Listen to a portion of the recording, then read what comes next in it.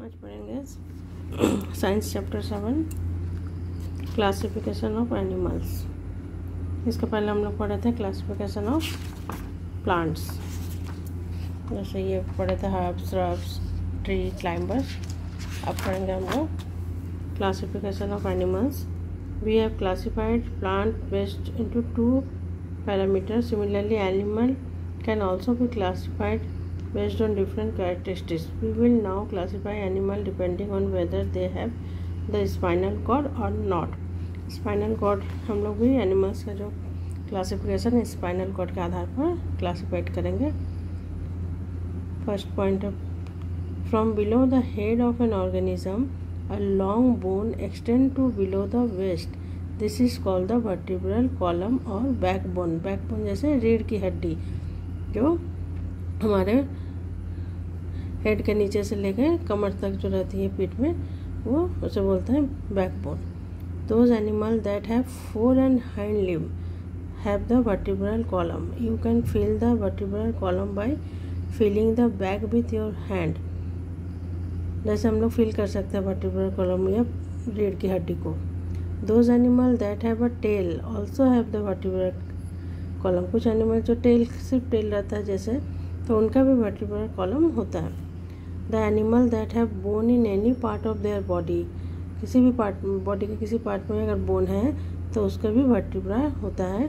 The animal that have a vertebral column are called vertebrates the fish lizard bird frog human beings the vertebral column is made of several small bones vertebral column छोटे छोटे small bones से मिलकर बने हैं। These are called vertebra the animal that do not have the vertebrate column are call invertebrate जिस animal में vertebrate column नहीं होता है, उसे बोलते हैं इनवर्टिब्रेट्स जैसे centipede earthworm snail leech scorpion crab lobster animal that are segmented do not have a vertebral column जिसका बॉडी सेगमेंटेड है, जैसे अर्थवर्म छोटे छोटे पार्ट्स जुड़ के बने हुए हैं तो उसे, उस जैसे उनकी बॉडी में क्या है वर्टिब्रल कॉलम नहीं है।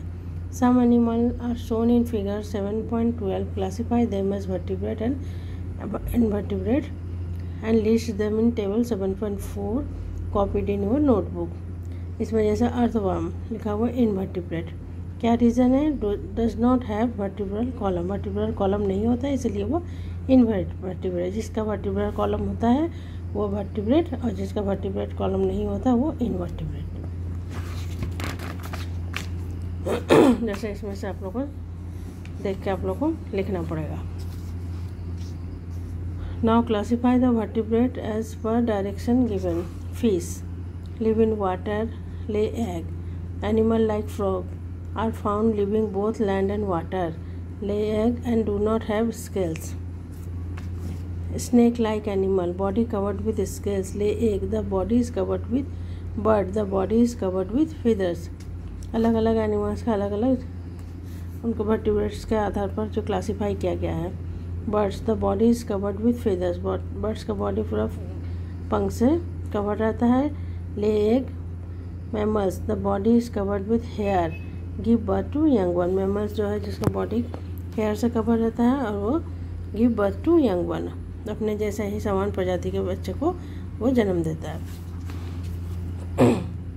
एनिमल जैसे, इसमें हम लोग समझ सकते हैं एनिमल्स में two types invertebrate invertebrates aquatic and egg laid egg example fish जो एक्वाटिक मतलब जो पानी में रहता है और जो एग देता है जैसे fish aquatic as well as terrestrial mainly terrestrial egg laying example frog जैसे जो पानी में भी रहता है और लैंड में भी रहता है, जैसे frog body covered with scale egg laying body covered with scales egg laying हो जाएगा एनिमल्स का नाम लिखना है, जिसका बॉडी स्केल से कवर होता है और एग लेइंग जैसे स्नेक हो गया। The body covered with feathers egg laying जैसे हो गया birds the body covered with hair give birth to young one जैसे हो गया एनिमल्स जैसे डॉग हो गया गोट हो गया। Make table 7.5 in your notebook and write the name and animal shown in figure 7.12 based on their characteristics in the right place example for example the name of fish and frog is already written जैसे इसमें दिया हुआ है पहले से fish और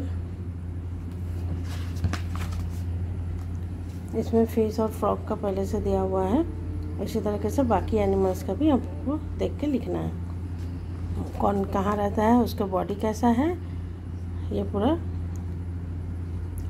आपको table बना के लिखना है। Scientific name of living organism plant and animal have different name and different language the mango is called aam Hindi में मैंगो को आम बोलते हैं।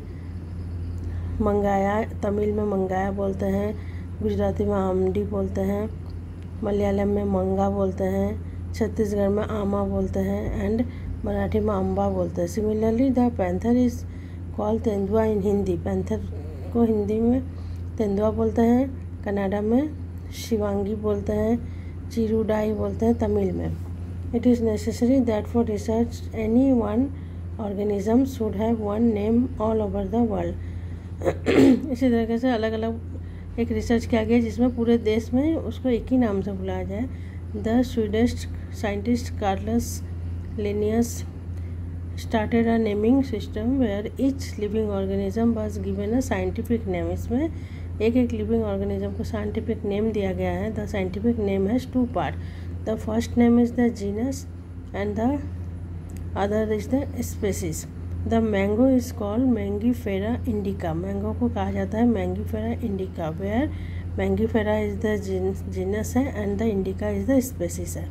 Similarly the scientific name of panther panther का है, Panthera pan pardus here Panthera is the genus name and pardus is the species name in each genus there are there can be several related species like tiger tiger को भी जैसे एक ही genus है तो Panthera Tigris lion को भी Panthera लियो क्योंकि वो एक ही जीनस का lion tiger are also the member of the genus Panthera. From this we come to know that the tiger lion and panther are very similar ये तीनों सिमिलर है, इसलिए एक दूसरे से रिलेटेड भी है इच अदर इसलिए वो उसका जीनस जो है सेम है। Similarly the scientific name of human being Homo sapiens human beings का भी साइंटिफिक नेम है होमोसेपियंस द फ्रॉग का साइंटिफिक नेम है राना ट्रिग ट्रिग्रीना द रोज रोज का साइंटिफिक नेम है Rosa indica and the rat का है रैटस रैटस जैसे तरीके से, जैसे स्टेट बोर्ड ऑफ़ छत्तीसगढ़ अलग अलग साइंटिफिक नेम होता है और अब हम लोग पढ़ेंगे छत्तीसगढ़ का स्टेट बर्ड ऑफ़ छत्तीसगढ़ है, पहाड़ी मैना। साइंटिफिक नेम उसका हो गया Gracula religiosa peninsularis state animal of Chhattisgarh है बाइसन साइंटिफिक नेम है बुबालस बुबालिस देखो, पहाड़ी मैना और ये bison importance of plant and animal we are dependent on plant and animal for several things हम लोग बहुत सारे कारणों से हम लोग प्लांट और एनिमल एक दूसरे पे डिपेंड है. Let us see their importance in our life importance of plant as food food के रूप में हम लोग यूज़ करते हैं. जैसे wheat maize pulses sugar oil as a spices masala जैसे मस्टर्ड कोरिएंडर सौफ टर्मरिक जीरा, मेथी, ये सब यूज़ होता है. मेडिसिन जैसे तुलसी हो गया बेलाडोना सिनकोना, ये सब मेडिसिन के रूप में यूज़ होता है, सब प्लांट से मिलता है। एज बेवरेज जैसे टी कॉफ़ी ये भी प्लांट से मिलता है। As fibres cotton jute linen as fuel wood as in paper industry bamboo in industry resin rubber tyre tube ये सब। For purification of the environment environment को प्योरीफाइड करने के लिए purification of air by plant जिसका main role है। As oil castor, peanut, amla, neem, ये सबसे ऑयल मिलता है। इसी तरीके से इम्पोर्टेंस ऑफ़ एनिमल्स एनिमल्स भी हम लोग के लिए बहुत इंपॉर्टेंस है। जैसे फ़ूड के रूप में milk ghee meat egg butter ये एनिमल से मिलता है। फॉर ट्रांसपोर्ट एक जगह से दूसरे जगह जाने के लिए हॉर्स कैमल डंकी एलिफेंट का यूज़ करते हैं। In leather industry skin of dead animal से हम लोग बहुत सारे चीज़ बनाया जाता है। Leather leather bag belt purse ये सब बनाया जाता है। To get wool from sheep and yak. Sheep and yak से हम लोग को ऊल मिलता है जिससे हम लोग ठंडी में जो स्वेटर पहनते हैं, उसी ऊल से बनाया रहता है।